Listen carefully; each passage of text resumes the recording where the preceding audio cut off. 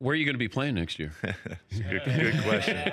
Uh, yeah, I mean, you're not going to get much right now. I, I got nothing. Where- I got would- not, sorry to disappoint. Come I got, on. I got absolutely on, nothing for you that's gonna.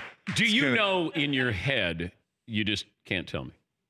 No, I mean, I wish I knew. I wish. I listen. I got a year under contract there in Kansas City. I mean, that's. Uh, Is there I a wish I was in back control of this thing, right? I mean, I I. I, wish I was the one that got to be able to to to do this. That's just not the reality. Okay, right? but if you were in control, So- what would you do?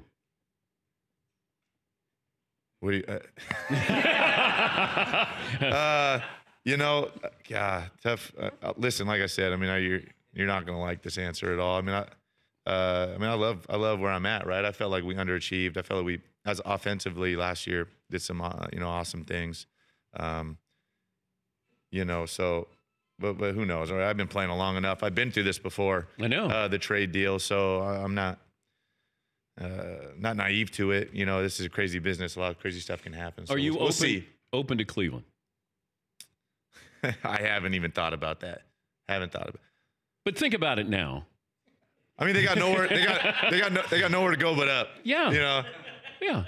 But one in 31 over the last two years Yeah. just sounds amazing.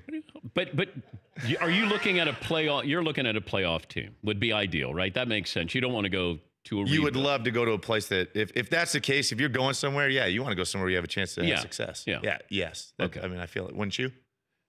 Uh, I don't know. Look at what I'm surrounded by. I mean, I basically went to the Cleveland Browns of radio shows. A lot of flannel, probably. Yeah, I know. I know. But they're nice guys. They Yeah. are. oh, gotcha. Yeah, they're very, very great personality. They are. For more Dan Patrick Show, tune to Audience Channel 239 on DirecTV or download the Dan Patrick Show app.